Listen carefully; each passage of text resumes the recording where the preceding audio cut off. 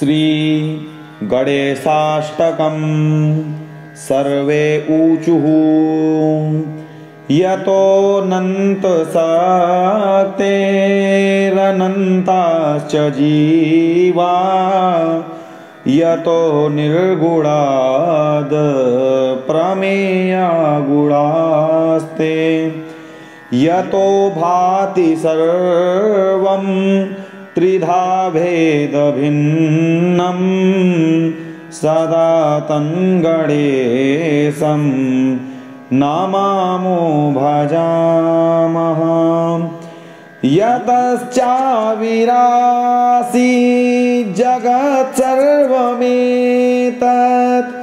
तथा जासनो विश्वगो विश्वगोप्ता तथेन्द्रादयो देव सङ्घामनुस्याः सदा तङ्गणेशं नमामो भजामः। यतो वह्नि भानु भवो भूर्जलञ्च यतः सागराश्चन्द्रमा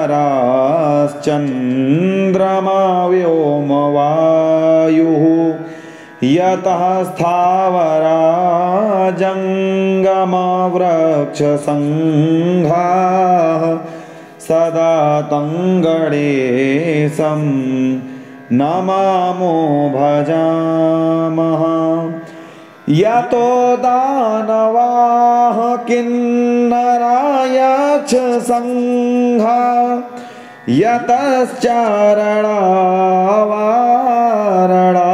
स्वापदाश्च यतः पक्षकीटा यतो विरुधश्च सदा तङ्गणेशन्नमामो भजामः। यतो बोधिरज्ञा न नाशो मुमुक्षोर्यतः सम्पदो भक्तिसन्तोषिकाः स्युः यतो विघ्ननाशो यतः कार्यसिद्धिः सदा तङ्गणेशन्नमामो भजामः। यतः पुत्रसम्पाद्य तो वाञ्छितार्थो यतो भक्तविघ्नास्तथानेकरूपाः यतः शोकमोहौ यतः काम एव सदा तङ्गणेशन्नमामो भजामः।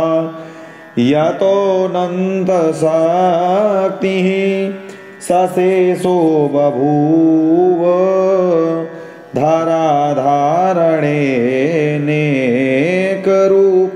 च सक्तः यतोऽनेकधा स्वर्गलोकाहिनाना सदा तङ्गणेशन्नमामो भजामः। यतो वेदवाचोतिकुण्ठामनोभिः सदा नेति नेतीति यत्तां गृह्णन्ति परब्रह्मरूपं चिदानन्दभूतं सदा तङ्गणेशं नमामो भजामः। श्रीगणेश उवाच पुनरुचे गणाधीशः स्तोत्रमेतत् पठेन्नरः त्रिसन्ध्यं त्रिदिनं तस्य सर्वं कार्यं भविष्यति। यो जपेदष्टदिवसं श्लोकाष्टमिदं शुभम्। अष्टवारं चतुर्थ्यां तु सोष्टसिद्धिरवाप्नुयात् यः पठेन्मासमात्रं तु दशवारं दिने दिने समोचयेद्बन्धगतं राज्यवध्यन्न संशयः। विद्याकामो लभेद्विद्यां पुत्रार्थी पुत्रमाप्नुयात्। वाञ्छितान् लभते सर्वमेकविंशतिवारतः यो जपेत परया भक्त्या गजाननपरो नरः। एवमुक्त्वा ततो देवस, चान्तर्धानं गतः प्रभुः। इति श्रीगणेशपुराणे गणेशाष्टकं सम्पूर्णम्। जो साधक इस गणेश जी के अद्भुत दुर्लभ गणेश अष्टक स्तोत्र का पाठ करता है। भगवान गणेश की कृपा से जिसको विद्या की कामना होती है, उसको विद्या प्राप्त होती है। जो पुत्र का अभिलाषी होता है, उसको पुत्र की प्राप्ति होती है।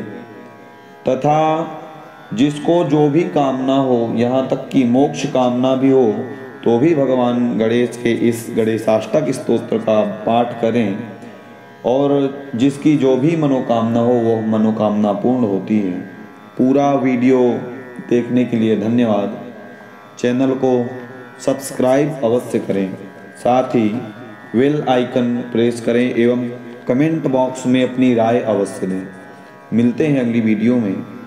तब तक के लिए जय श्री कृष्ण, जय श्री राधे, हर हर महादेव।